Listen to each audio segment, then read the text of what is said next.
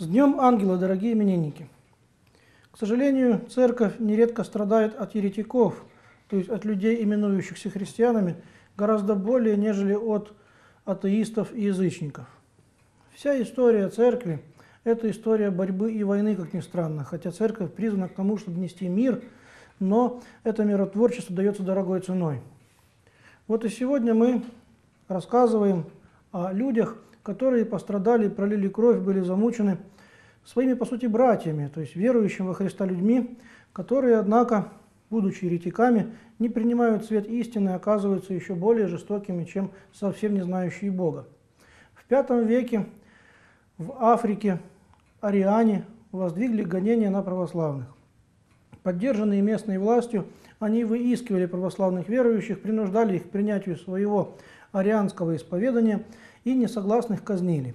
Напомню, что арианское исповедание родилось в Александрии, то есть в Северной Африке, и пресвитер Александрийской церкви по имени Арий учил о том, что Христос не равен Отцу, что Он не вечен, что Он был сотворен, и хотя Он выше всех, по мнению Ария, однако же Он не равен Отцу. Эту ересь с гневом и благочестивым таким жаром отвергли все православные христиане, но ересь это мучила церковь довольно долго. И вот в Африке, когда было гонение, в частности, в одной из церквей ариане схватили и затем сожгли 300 человек, 62 из которых были иереи, поскольку это был праздник Божий. Сегодня совершается их память, и имена этих людей нам неизвестны.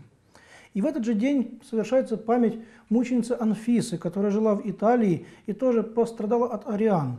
Ее принуждали к арианскому крещению, но она отказалась это сделать и также была сожжена. Оказывается, история сожжения началась гораздо раньше инквизиции, и люди возводили на костер других людей за иные убеждения задолго до тех веков, когда мы читаем об этом вот в истории средних веков. Мученицу эту звали Анфиса, что означает «цветущая». Слово «цветущий» нередко встречается в Священном Писании.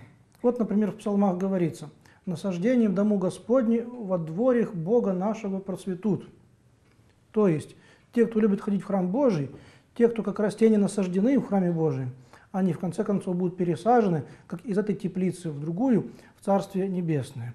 Или еще говорится, праведник, яко феникс процветет. То есть человек верующий, похож на дерево, пустившее корни при водах. Это дерево не вянет, лист его не отпадает, оно приносит плоды. В этом смысле всякий верующий человек должен быть духовно цветущим.